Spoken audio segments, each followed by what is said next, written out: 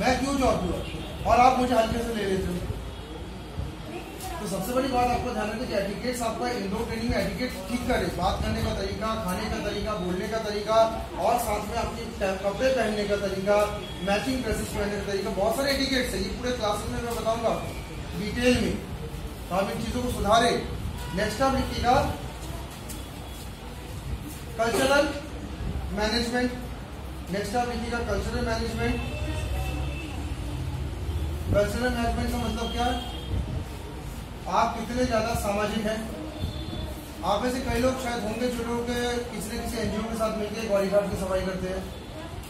कई लोग ऐसे होते हैं जो कोई ना कोई भंडारे में पार्ट लेते हैं। कई लोग ऐसे होते हैं जो कोई ना कोई कार्यक्रमों में एक्टिव होते ही है। कुछ ना हो तो ट्रैफ़िक में खड़े हो गए, पुलिस के साथ ट्रैफ़िक सिग्नल्स का मैनेजमेंट कर रहे हैं।